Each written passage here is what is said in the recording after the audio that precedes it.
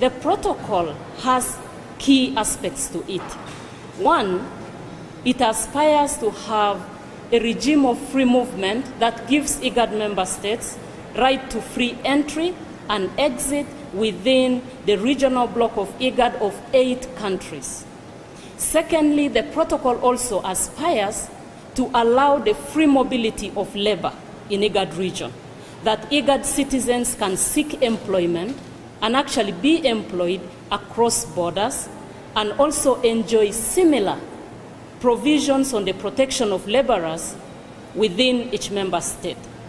The protocol also intends to provide a right of residency to IGAD citizens in any IGAD member state where they choose to reside in. And lastly, the protocol has a provision of right of, resi- uh, or right of establishment. We are sure that this protocol is part of the integration, the integration that all the African continent is talking about. It's an economic integration, it's a continental integration, it's the regional integration. So it is already ongoing, but this is to just regularize it and regulate it. So we are waiting for cabinet to ratify, and then the laws will be, what is it called? Domest- the protocol will be domesticated, and then full implementation will be done. But